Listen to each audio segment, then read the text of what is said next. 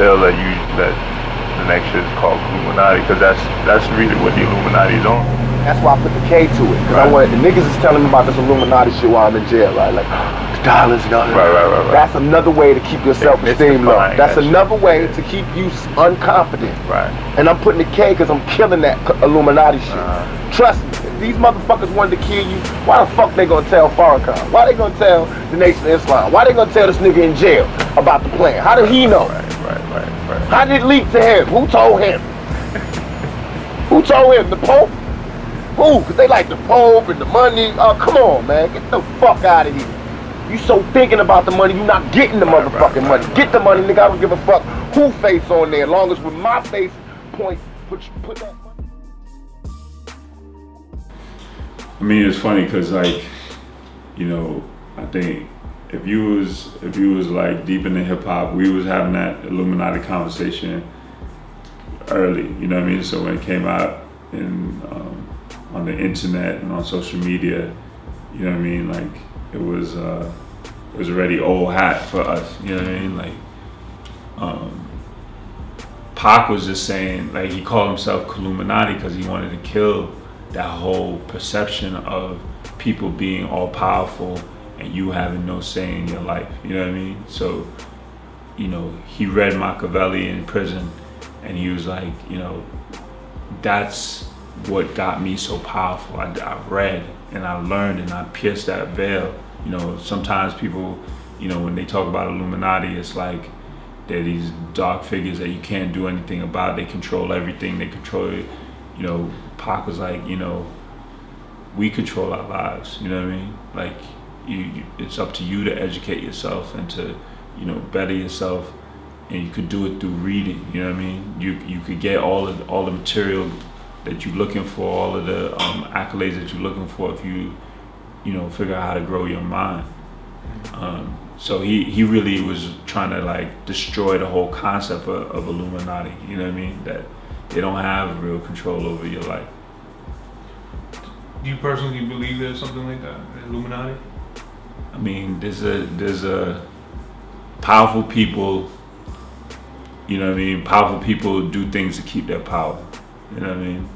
I don't think it has to be so mysterious or, or mystical. It's like it's obvious. You know what I mean? Like Goldman Sachs is what people are calling the Illuminati. It's a bank that, you know, uh, destroys people's lives for, for profit. You know what I mean? Um, how far they go with the with the seances and the rituals and so on. I mean, that's already proven that people do that. You know, um, in colleges and you know they have these like you know um, secret meetings and so on. Like that's that's not even a, a question anymore. You know what I mean? We we know that that that's what happens. But is it a, is it a worldwide conspiracy? Is Jay Z and Beyonce involved? Is all of that? I don't know. You know what I mean? Like I don't see the real uh, evidence of, of those kind of things. They certainly uh, uh, played around with the thought of it. Now you think with the whole there's this um, compilation of YouTube Right. with videos like Right, right. there's a there's a hidden message in this, there's a hidden message Right. in that. You think is it is there really a hidden message, or you think this whole bull of dudes just making shit up? I think a lot. I think people manipulate situations when that perception is out there. You know what I mean? Like I think people are playing with symbolism and, and so on. Um, when you when you're doing um, theater or news or media, you know what I mean? Like you want to create a narrative. You want to bring as much interest to your, yourself as possible. So if, if they're talking, if they're saying Rihanna's a Illuminati puppet, she's gonna put it in the video, and then somebody's gonna see it in the video, and then start saying it, and then they're gonna say it, and she's gonna have three million views because you know half a million people just looking for that Illuminati reference. The people in the media definitely playing with that, you know, but I don't know if how how real, you know, how real you want to look at it if you think that's like some sort of satanic um, business or just somebody manipulating you into watching a video. You know, you got me thinking. Um, Death Row was just drama constantly. You know what I mean? There was every week there was a story of like you know them having to mop up blood at death row or um, you know somebody getting assaulted or champagne bottles getting you know uh, being used as weapons to get somebody's mother's address. You know there there was a a constant problem going on. And when Dre wanted to leave, you know, Tupac as a as a soldier, you know, followed Suge, you know what I mean? So he was attacking anybody that Suge deemed, you know, an enemy to death row. Did, did he seem happy at death row? No. That I could say for sure that he was ready to leave. You know, by the end, by the time he, you know, by the time he got to Vegas, he was asking for his P and L statements because at that point, you know, he had sold so many records he was, you know, waiting for his money, and every time he asked, they would just give him, they would give him a car that was owned by Death Row, or give him a house that was owned by Death Row, and so he started to see through that, and that's when he was, you know, building Machiavelli Records and trying to like, you know, go his own route. Look, man, he the the reason why he signed with Death Row is because they came with a handwritten contract to get him out of prison. He he had to get out of prison you know what I mean? Like I don't think he wanted to sign with Death Row ultimately, but he saw that as his best vehicle. They were on top, you know what I mean? And it, it was like his immediate way to, to take care of his situation in prison when he was in prison to get out, to get back on, to be put on the the, the, the biggest stage. You know what I mean? Like deal with the best producer in the West Coast. So he did it. You know what I mean? But was he down with everything that Death Row was about? You know, that's debatable. You know what I mean? He comes out of a revolutionary Black Panther um, mentality. Mm-hmm. Suge was, was, was on some West Coast gang shit. You know what I mean? It's a different, it's, it, it's related, but it, it's different. You know what I mean? I think ultimately Pac was, was planning an independent move. That's just the nature of who we were. I feel like that that ultimately got him killed. That Suge Knight gangster shit. I agree. I think he. I think that is ultimately what got him killed. You know what I mean? But it's also what got Big Big killed. Like at that time, you gotta remember, like it was so important to be real.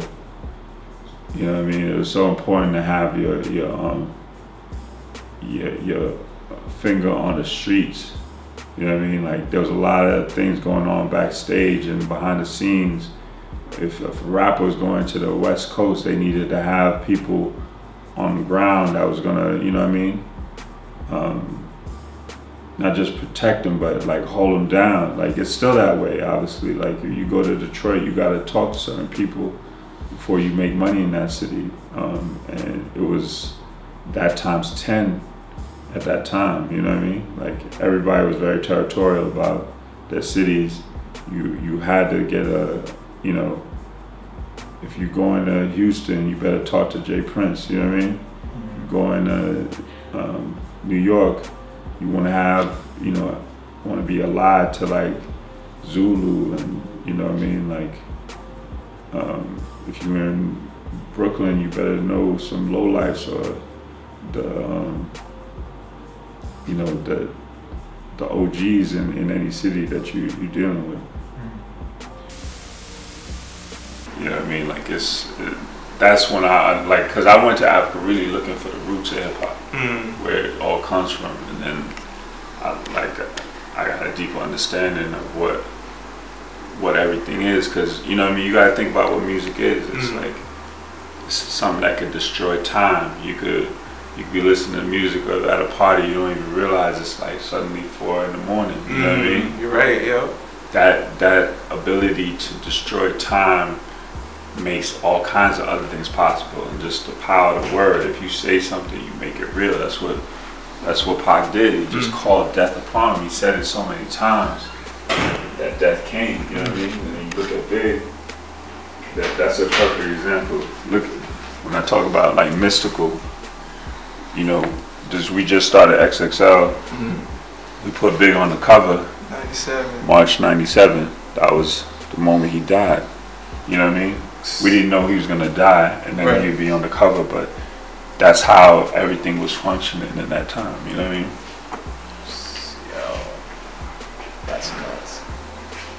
That's crazy, dude.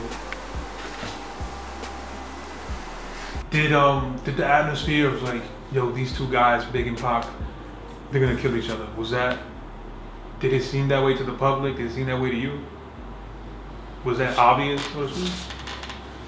Suge was the was really the X factor. You know what I mean? Like, I mean when when Pac came out with "Hit 'Em Up," you know he went so hard at Big that the the you know New York was like, you gotta respond, and maybe that was not just gonna be on wax. You know what I mean? Um, and that that had been building for for a minute, and you know like that's when Mobb Deep got involved. That's when the Dogg Pound was getting bullets shot at the trailer. You know what I mean? So the whole environment was like, you know, at any point you could get somebody could get got. You know what I mean? Um, in Atlanta, you know, Puff's bodyguard got killed, and but that was more related to the BMF thing. But um, that was just the nature of the, the game. Like if you was at the source or XXL, people call to threaten you regularly. You know what I mean? If they didn't like your the way the, the article came out or, or what what you know what I mean? Like people was ready to run to the guns. You know what I mean? It was really like that. Yeah, it was definitely that was regular business. Getting threats because they didn't like the interview or whatever. That was that was pretty regular business at the source and uh, XXL. Before we started recording, you told me that um, that it seemed very obvious that Tupac was gonna something was gonna happen with him.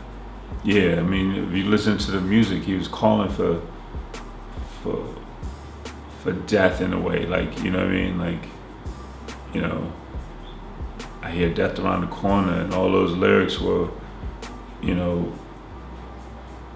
to me, like Pac knew that at some point his only way out was to become a, a myth. You know what I mean? To become a um, somebody who, who went all out for, for his art and um, his people. And um, you know, you gotta remember, like he was facing at one point like 50 trials. He had like 50 cases at one time. You know what I mean? Like, and it was it was getting even more with death row. Like, you know, every day there was a conflict. Every day there was like, you know, some issue with somebody somewhere, and he and he was, you know, putting himself um, in the um, as a target, you know, in the way he he uh, conducted himself. So, you know, I think he understood that he was calling for death. I think he knew it, and you could, like I said, you could hear it in the music. Did you ever see his legacy to be that big? This is like 20 years later. We're still talking about. people Yeah. That was obvious that it was, he was going to be like um like a legendary figure. You know what I mean? Just because of the way he died, it was like you know he died in Vegas. He was he was staying in the Pyramid Hotel. You know what I mean? He died on the September seventh, and I mean uh, he, got shot on the seventh, died on the thirteenth. Like there was so many mystical aspects to his story and it was so obviously like a, a, a fable a, a fairy tale. You know what I mean? Like the man in red, the, the man in red got him out of prison after he resurrected from a you know a shooting in New York. You know the shooter was named King Tut. Like he you know he was so in so many places and he he he um he garnered so much love from so many different uh, parts of the world and parts of the industry and parts of the, the country that you know you know I was at the hospital when he died like you felt it immediately like this was not just historic but things were gonna um, that he was only gonna get bigger in death. The, the people that were there basically were like the security from death row family members you know and like press like me but there was probably like only like four or five of us from the press but the the um, the scene was like you know everybody was just tense, you know, and you you're waiting every moment to find out what what's actually happening, and then I remember the day of. I just happened to get there like right on time. I think I was there for like 30 minutes. Suge came in, you know I mean? He was smoking his cigar as usual. You could see the bullet fragment in his head, but he was um he just had like this really um, foul aura around him. You know what I mean? Like it was like death followed him too. You know what I mean? He came in, um, went inside, and then came out later. Then you know maybe 20, 30 minutes later, the Outlawz came out, and I remember, you know, they were super upset and screaming on the nurses and, and you know, how could you let him die kind of thing. You know, and then, you know, you saw people coming out crying. Then Afeni came out, you know what I mean? She wasn't crying, her face was just like stone. And um, she walked out. Um, and then, you know, you realize that was it, you know what I mean? Um, there was a lot of rumors beforehand, but that point, everybody understood. The hospital made the made the announcement, and it was just like, you know, you just felt this like, um, this change in the air when, when, you know what I mean. Like then you just started seeing all these people start gathering outside the hospital. Um, and like I said, you knew immediately that he was going to be like legendary.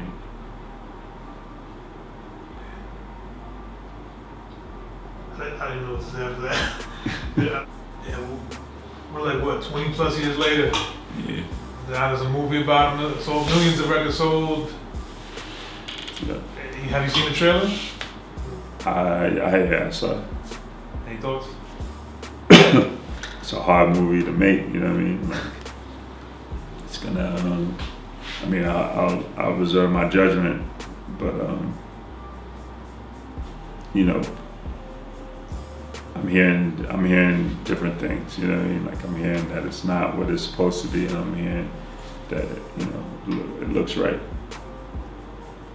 Were you uh any thoughts on the uh Straight Outta Compton movie? What do you Um, think of I, I really like the first hour. You know what I mean? what is that? yeah. Like the, the the ending for me just seemed to you know it, it was it got real kind of political. You could see that there was a lot of people involved in the the making of that movie and everyone had to kind of tell their part but I really really enjoyed the the first hour of it. The the whole